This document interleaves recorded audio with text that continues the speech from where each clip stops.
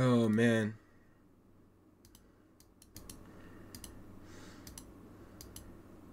Ain't that funny though? I get muted in Rogue Demon for calling them shit stain. Bro, the one of the mods asked if he could join my clan. And I told him no because I respect him. He's actually a neutral mod. I've never seen him like do anything biased. So I actually have a bit of respect for him. So I told him I won't let him join GB because the way the moderation team jumps their own moderators for not having the same ideals. And of course I get muted for breaking rule 5 talking about respect one another. You said respect one another, right? Respect one another. I get muted by Bobby obviously because this guy just cannot get off me. Respect one another, right? I'll ban Xavier. I hate Xavier.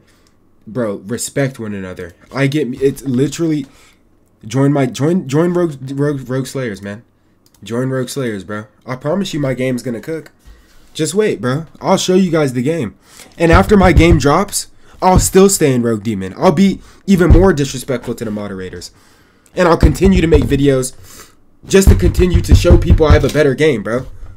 A better game that ain't corrupted by moderators. A better game that it, bro. It's just I ain't got time for this, bro. I get muted when it's when it's when it's hypocrisy, brother. Might be a wrong time, but your content. See, all my fans, bro. If I didn't have my fans, man, I don't know, bro. It, it is no justice. The there is no justice against moderation. Do you know how many videos I've made exposing the corruption? There is no justice, bro. The only justice is my game that's gonna drop, and when everybody leaves Rogue Demon, bro. I hate to say that, brother.